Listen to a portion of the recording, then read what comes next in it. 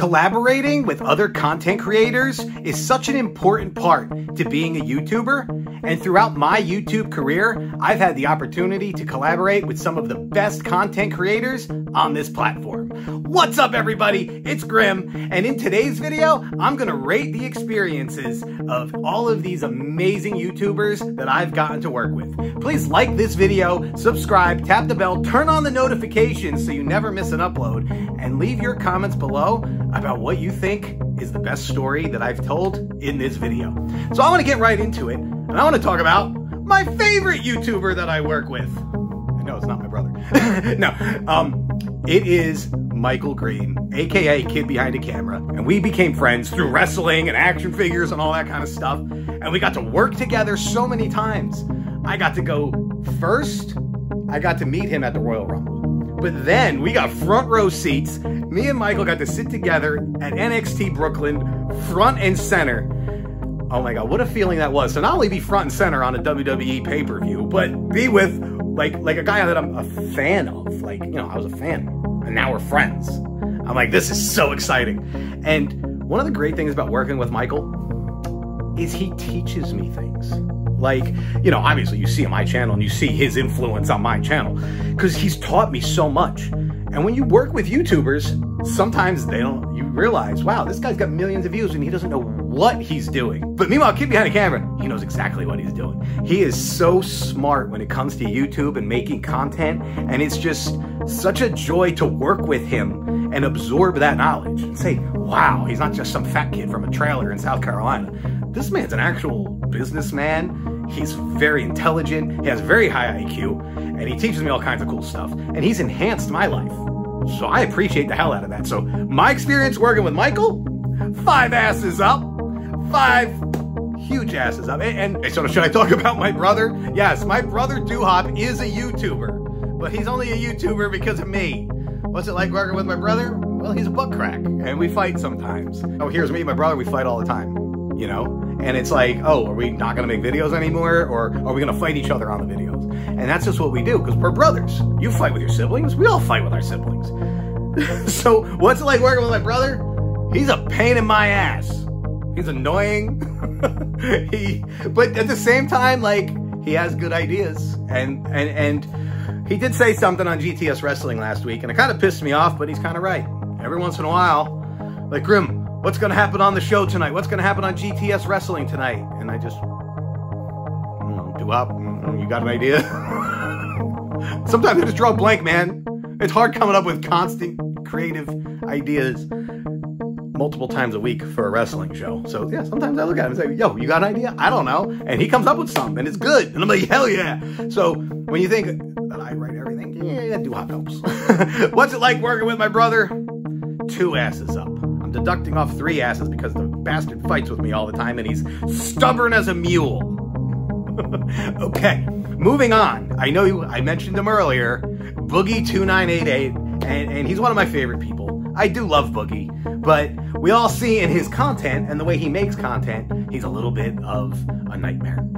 And that makes it a little bit difficult to communicate with him sometimes. And at first, I had a great experience working with Boogie. The only time I ever really worked with him was at that McJuggernuggets party. And I handed him the camera and said, keep filming. And he did. So, Boogie, you get five asses up for that because you did exactly what I asked you to do. When it comes to work, that's it. He did what he asked him. Working with Boogie was phenomenal. But, like, personal relationships and like trying to do more work with them, whatever. Like, like when when Keemstar and McJuggernuggets and Emily Saxton and Kid Behind the Camera, we were all breaking down this party on Keemstar's podcast. Like, I felt like Boogie was going to be like on my side because Jesse was a piece of garbage to both of us. But Boogie was like, "No, it was all Grim. Grim's garbage. It was all Grim's fault. I did nothing wrong." I was like, "Bugs, Bugs, I had your back this whole time saying you did nothing wrong because he really didn't." You could have said, hey, I didn't do anything wrong either. I was just hanging out with girls at a party. Uh, was, was I being a piece of garbage? I didn't think I was. No, could have said, hey, you know, me and Grim were just hanging with the girls. We weren't doing anything wrong. But he's like, no, it was all Grim. It was all Grim. I was like, Boogie, Boogie, no. But it's okay. It's, it's Boogie. We all know how he is, and I love him. So, so Boogie, I'm gonna give you a pass. Working with you was phenomenal. You filmed what you were supposed to film. We got great footage out of it. So I appreciate the hell out of that bookster. Which then brings me to Jesse. McJuggernuggets. Ugh. And again, how much have I worked with Jesse? Well, I had a little bit more of a rapport with Jesse because I had started the whole Storyfire thing with him. And I kind of talked about this in a previous video, and so I'll go through it quickly. But basically, I was invited to be on Jesse's new platform, Storyfire, which was supposed to be a rival to YouTube. And I'm like, okay, this is going to be fantastic because finally we can monetize content we can't monetize on YouTube. And Jesse Kid Behind the Camera, Keemstar. These were like the forefront of content creators who were making fine content that should not be restricted in any way, and it's all getting restricted just because of yelling and cursing.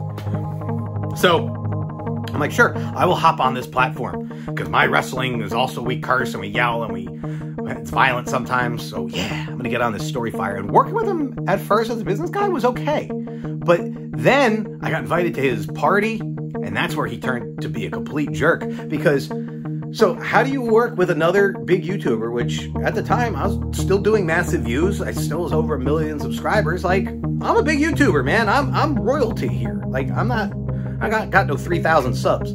How do you invite a YouTuber like me to your house for video?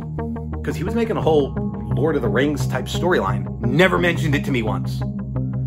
I thought from the text message he sent me that we were having a drunken rager party and cameras will be rolling of the party. So I wanted to be the craziest party animal there. So that's what I showed up as.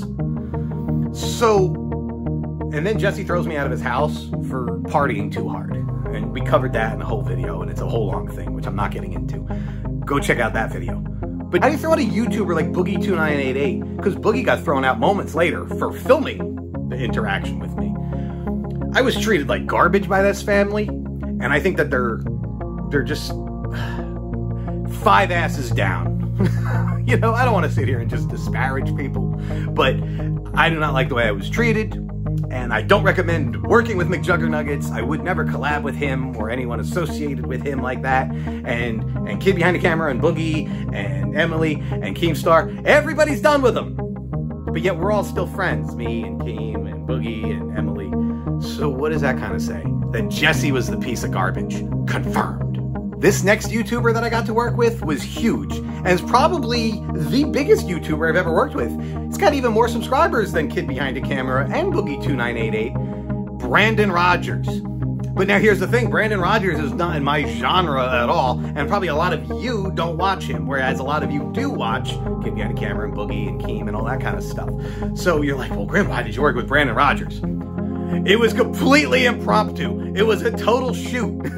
so Brandon Rogers is a very eccentric YouTuber, and he makes some of this craziest, chaotic, and funniest content that I've ever seen. Very, very much gets age restricted, demonetized, that kind of stuff. Much like me.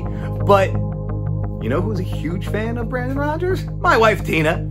And when I met her, she was telling me about this YouTuber, and I had heard his name, and he does another show called Helluva Boss where he's a voice. And I had heard of him, but I never really watched his content until she showed it to me. And I said, wow, this is hilarious. And I was really enjoying it. And she said, he's doing a live show. I would love to go see him.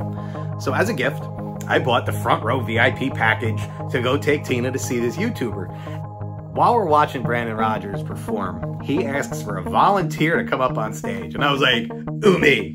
and of course, like, I just, I feel like there's a certain energy in this universe that certain creativities, creators, and, and artists, we all kind of have, we all just kind of vibe with each other. And I just felt that Brandon was like, as soon as my hand went like this and I looked over, Brandon just instantly connected and said, that's the one. That's right there. Because he looked around, he looked at me, he looked around the room and he came back to me and said, you. So I got called up on stage. And we got a little wild. and, and the video's on YouTube. You can go check it out. So I did this whole bit with Brandon Rogers where I had to give him a COVID shot, except I had to give it to him in the bum bum. And uh, it looked a little bit uh, bisexual up there on stage. And everybody was like, goddamn grim. And I was like, listen, comfortable my sexuality. I can fool around have fun with another content creator. And it doesn't mean anything. So I got up there. I had fun. I got to perform with Brandon Rogers. It was a complete shoot that was complete improv. Nothing was scripted. Nothing was planned. But if you watch that skip back, you would be like, how? it was so on point. And that's just like I just feel like when when two creatives bounce off each other, it's just a natural chemistry. And I just feel like I had such a natural chemistry bouncing off of another big strong creative like Brandon Rogers. And it was a really really great experience and I would rate that 5 asses up as well. Guys, Thanks so much for watching this video. And I know I worked with so many other YouTubers and I want to talk about that too. And I will in the next video. So I need you to subscribe, tap the bell, and turn on the notifications because I want to get into the wrestling YouTubers that I've worked with. We're going to talk about JD from NY. I want to talk about Macho T. I want to talk about wrestling with regret, Brian Zane, Daniel Cronin, and a host of others, DGDX. I was on Ryback's podcast. We're going to rate all of those experiences the next time on this channel. So don't miss it. I thank you so much again for watching. Please like the video, leave a comment, subscribe for more. And if you're not down with that, we got three words for you. Eat it. Yeah.